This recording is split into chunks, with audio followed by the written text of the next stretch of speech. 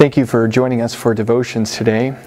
We continue to study the first article of the Creed, which says, I believe in God the Father Almighty, maker of heaven and earth.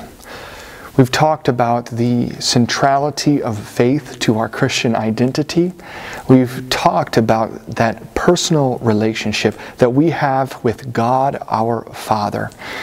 But today we're going to talk about God our Father as Maker.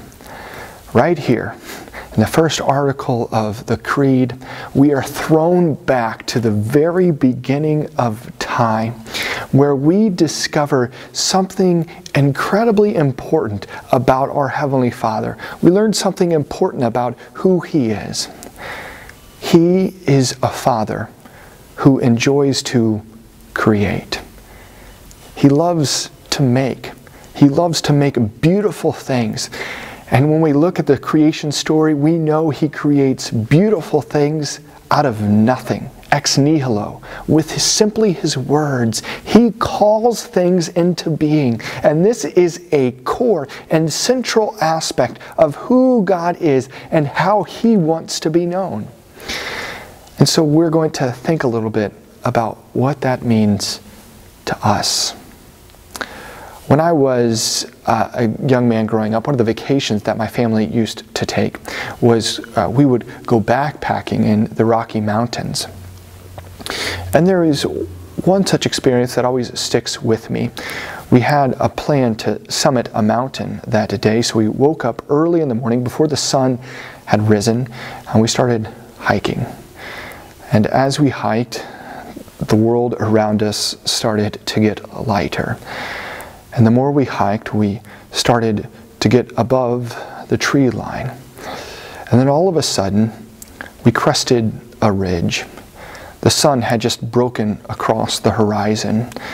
And next to us was the mountain that we had planned to summit that day. And the mountain was, was 12,000 feet, which to some people isn't a lot, but to a boy who's born and raised in Missouri, 12,000 foot tall mountain is a massive existence. It is bigger than anything that I had ever experienced, and it is looming next to us like, like some sleeping giant. But as we stood on the ridge with the mountain standing next to us and looking down over the valley floor that was speckled with clouds, and the first rays of light of the day are shimmering off of them, and the trees that stand below us dance in the morning dew, I stood there and took it all in. And I had an experience, and perhaps you've had an experience like this an experience of just sheer wonder. Our God, the maker of heaven and earth, had created this. This beauty. And no picture, no words, nothing man can create can capture that experience, that moment of awe it is simply sublime, something only God can create. But as you stand and, and look at the vast beauty of creation and its magnitude, you also realize that our Heavenly Father, He isn't just our Father, He's also the Father of giraffes.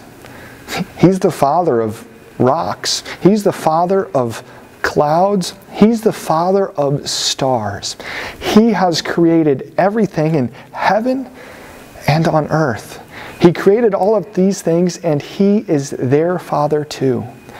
And so we share in all of creation, singing and giving praise to the Creator of the universe, and we all recognize together that our Father loves to create. And most importantly, our Father, when He created you, He knew you even before time. He knew every aspect about you. He knew your personality, He knew the hairs on your head, He knew about your smile. And He made you, He created you as His beautiful child. Isn't that incredible? That's our Father, the maker of the heavens and the earth. Please pray with me. Almighty Father, maker of heaven and earth, I praise you for having fashioned me in love and set me within this world, which you have also created, for all that you have given me in body and soul, and for the wondrous ways in which you take care of me. I give you thanks. Keep me mindful of your bountiful gifts, ever looking to you for all good things in this earthly life, and teach me to receive them as your child and heir. Through Jesus Christ, your Son. Amen.